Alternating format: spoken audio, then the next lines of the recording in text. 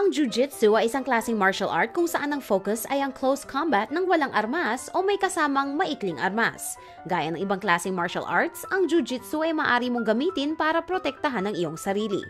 Panoorin ang basic introduction na ito na ibibigay ni na Grandmaster Lauren at Grandmaster Nianqing paano pigilin ang paglapit ng isang hindi ka nais-nais na lalaki.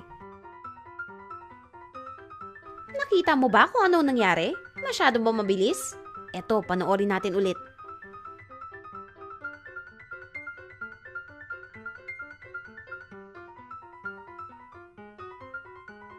Hindi pa sumuko itong si Grandmaster Nianqing at BAM! Nako, mukhang napakasakit ang tama sa kanya. Kung may gustong kumiss sa inyo, magkunwari ka raw na ikikiss mo rin siya, pero imbis na kiss ay bigyan mo siya ng tuhod sa mukha. Kung mayroong kumurot sa iyong mga nipples, huwag hatakin ang kanilang mga kamay sabay sampal. Mixed messages yan.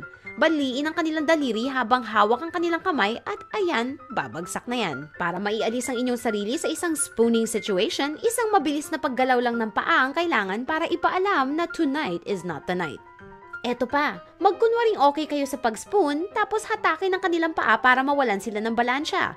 Kung hindi pa nila naiintindihan ito, subukan silang hubaran at itrap ang kanilang mga kamay sabay sipa.